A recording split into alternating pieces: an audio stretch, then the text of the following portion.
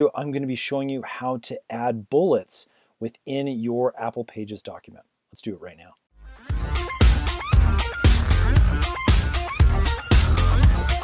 Okay, as you can see, I've got a very simple Apple Pages document here that I'm working with. And what we want to do is just add some bullets to make this a little more readable when we are dealing with specific items.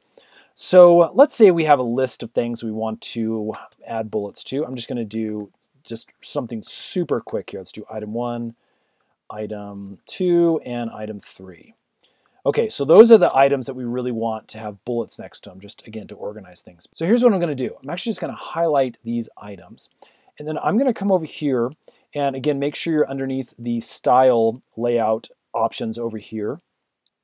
And you're going to find this little bullets and lists drop-down menu that you can use.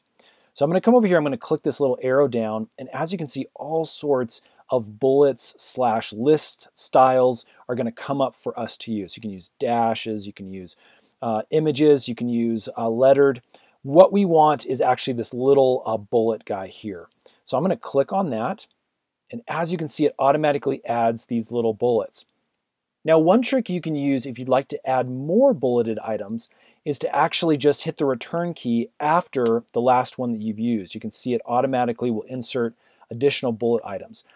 If you want to, again, delete that specific bullet and just move on with regular writing, you just hit the return key again, and it'll allow you to cursor down.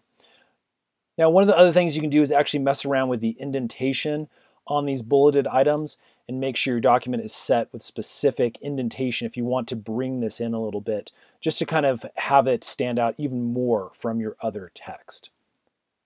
Friends, I hope that helps. If it has, would you guys please hit that thumbs up button? Lets us know we're making helpful videos. And you also might want to subscribe because we got a bunch more tutorial videos that are coming up really, really soon. Thanks so much for watching.